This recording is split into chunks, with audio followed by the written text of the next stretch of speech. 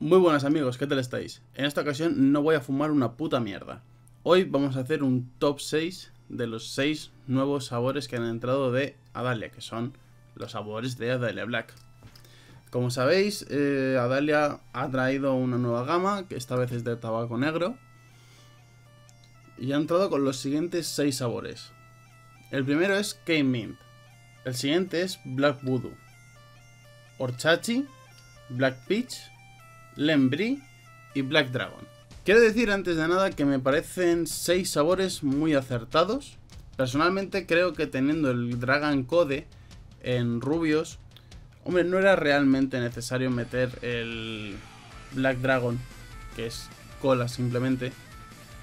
Pero a mí personalmente me gusta más este Black Dragon.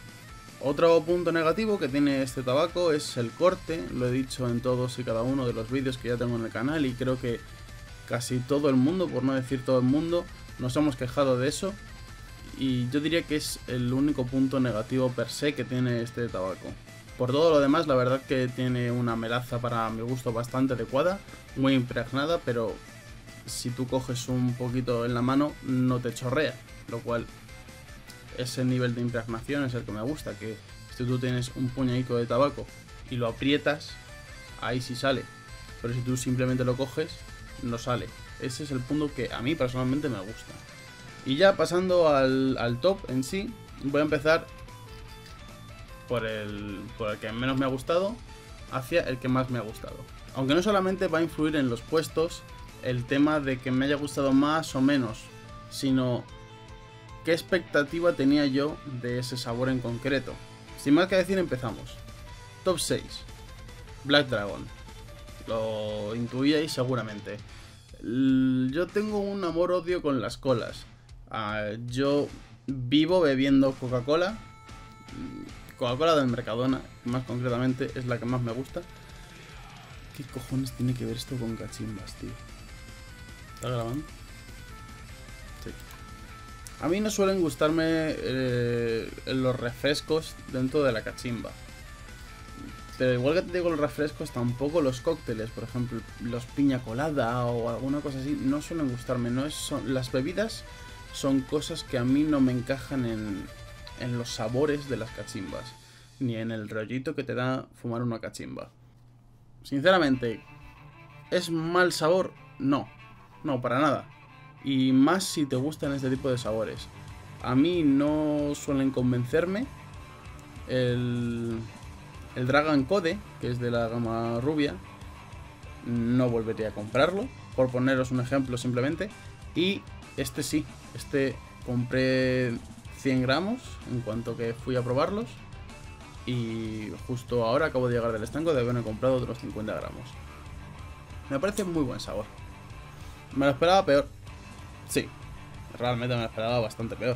Pero está, está bastante bien, está bueno y además da mucho juego para mezclas. Puesto número 5, Kane Mint. Estoy seguro de que muchísima gente se me va a echar al cuello por esto. Y es que realmente el Kane Mint de Adalia no aporta grandes diferencias a mi parecer con el resto de mentas negras que tenemos.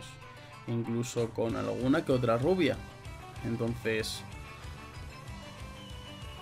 el nombre hace mucho. Eh, sobre todo si tenemos en cuenta que yo no he probado el Game Mint de Tangers. Entonces, las expectativas que tenía de este tabaco eran realmente altas. ¿Es un mal sabor? Para nada, pero para nada. Es realmente bueno. Es muy buen sabor. Un mixer brutal para fumarlo solo es genial también. Tiene el sabor a menta, que es lo que yo añoro en muchos sabores.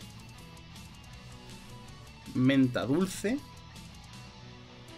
y fresca, sin rajarte. Está muy bien. Pero es que no destaca por encima de ninguna otra menta que tengamos en el mercado por nada. Entonces, tenía las expectativas muy altas y no se han cumplido. Por eso está en el quinto puesto. Si no, estaría bastante más alto. Puestos números 3 y 4. No puedo decidirme cuál poner antes que cuál. Black Peach y Lembry. Voy a empezar por Black Peach, pero no quiere decir que sea peor que Lembry. No tiene nada que ver. Simplemente es que es más corto lo que quiero decir. Lo estaba cargando por primera vez y me estaba recordando la Fanta de melocotón. Melocotón y el que creo que es la Fanta. Predomina muchísimo más el, el melocotón. Me olía tal cual a eso. Y es un sabor cojonudo. Que yo no me... Es que no me canso de decir que es el mejor melocotón que tenemos a día de hoy en el mercado nacional. Y yo soy muy muy fan del de Nacla. Siempre lo he sido. Nacla, te han quitado el puesto. Este es el mejor a día de hoy. Sí que es cierto que a lo mejor hay días que no te apetece negro. Te vas al Tenacla. Que te da igual, me voy a este. Me parece un sabor muy muy bueno. Que al ser un sabor tan simple, da un juego tremendo para mezclas. Pero tremendísimo. Y el Lembri está muy bien. Ninguno de los dos sabores, al menos para mí, puede llegar a empalagarme, al menos no demasiado. Pero sí que es cierto que al ser un solo sabor constantemente el Black Peach, puede llegar a empalagar a más gente que no el Lembri. Por el simple hecho de que el Lembri son mm, dos sabores, podríamos decir. La marca lo describe como frambuesa y limón, pero mm, personalmente, y coincido con mucha gente, ese limón no es tanto el limón, sino más una limonada dulce. Hay mucha gente también que se quejó de que no se notaba esa frambuesa. Yo personalmente y con otra tanta gente también coincido en que sí se nota, pero más por debajo que esa limonada. Tanto el Lembri como el Black Peach eh, con un poquito de Cane Mint puede quedar genial. Realmente podría ser una mezcla simple, pero efectiva, podríamos decir, mm, rica, que no te puedes cansar de, de fumarlo, al menos en mi caso. Puesto número 2, y aquí puede que si hayáis visto otros vídeos míos, puede que os sorprenda. Eh, Orchachi. Yo siempre decía que Orchachi era el, mejor, el mejor tal. Por descarte sabéis cuál es el primero, pero Orchachi me parece un sabor brutal, pero brutal, que no tenemos nada parecido, al menos que yo conozca, en el panorama nacional. La marca lo describe como caramelo, nueces, chocolate y café. Es un sabor que al ser varios sabores no te da demasiado juego con las mezclas. Pero con a lo mejor 20-15% mm, de café de zomo queda espectacular. Es una mezcla, pero es que brutal, brutal. Personalmente, ese chocolate no consigo sacarlo. Pero tanto el caramelo como las nueces se notan bastante. Y yo el caramelo lo describiría más como la parte de arriba del caramelo en sí, en un flan. No tanto el caramelo que puedes hacer en sartén aquí en casa o un caramelo de los que te compras en el chino. Y el café tienes que concentrarte mucho para sacarlo pero sí puede sacarlo, alguna notita así al final y tal, sí puede sacarlo. Puesto número uno, lo sabíais, Black Voodoo. Es un sabor que me parece, por lo menos, por lo menos, que en el top 5 de mixer españoles tiene que estar.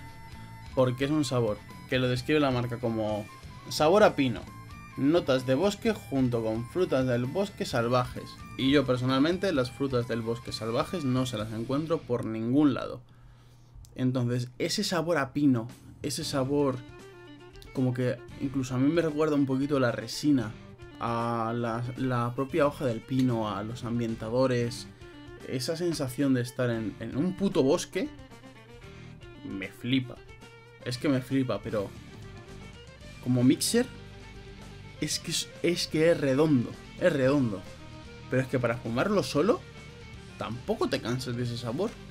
Entonces, me parece que es una elección brutal la que han hecho metiendo este sabor. Y el top lo dejo aquí, no sin antes decir que me da la sensación de que todos y cada uno de los sabores encajan entre sí. Me da igual que mezcles Orchachi con Black Dragon, que a priori dices que mezcla. Queda bien. Da igual que mezcles eh, con Black Voodoo, queda bien. Eh, me da esa sensación. Incluso haciendo una mezcla de estos seis sabores a la vez, no lo he hecho, pero me da la sensación de que puede quedar algo bueno. No sé, es una sensación un poco rara la que tengo ahora mismo con, con Nada y la Black. Y no sé por qué he dicho esto, pero bueno, en fin. Lo dejo por aquí. Espero que os haya gustado este vídeo, que os haya ayudado. Si es así, podéis dejarme un like, si no, un dislike, un comentario, lo que os dé la gana. Y nos vemos en la próxima. Un saludo para todos.